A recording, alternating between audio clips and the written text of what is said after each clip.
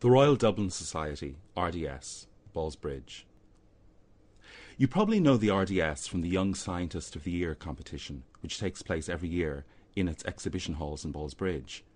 Or maybe you were at Funderland. Maybe you went to Dublin Horse Show. Well, all these take place in what we call the RDS. Not many may know that the Society has a long history and a huge influence on Dublin and Ireland as we know it today. In 1731, a man named Thomas Prior formed a group called the Dublin Society, which tried to help improve farming and industry in Ireland. They also wanted to encourage the arts, sciences, and the horse industry.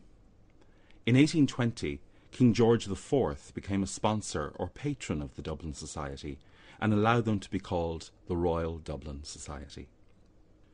The Society was one of the first with a Buy Irish idea. In 1771, they offered rewards to businesses who bought goods manufactured in Dublin.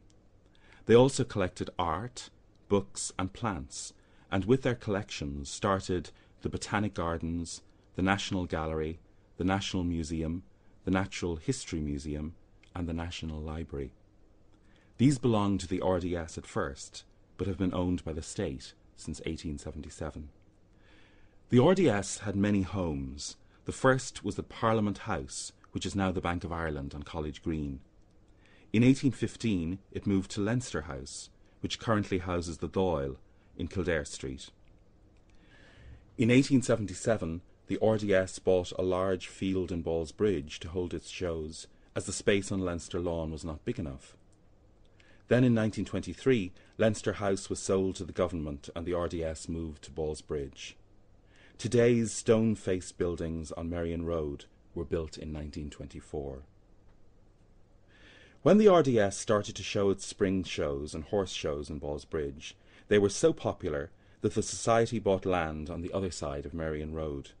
They even built their own short railway track from Lansdowne Road Station to a small station on Merrion Road, so that farmers could transport their livestock to the grounds. The first train ran on this line in April 1893. Until 1971, when this special station was closed, it was a familiar sight to see the traffic on the Merrion Road halted to let the horses cross the road from the station to the showgrounds. A horse trough outside the Allied Irish Bank Centre allowed horses to have a drink while waiting to cross.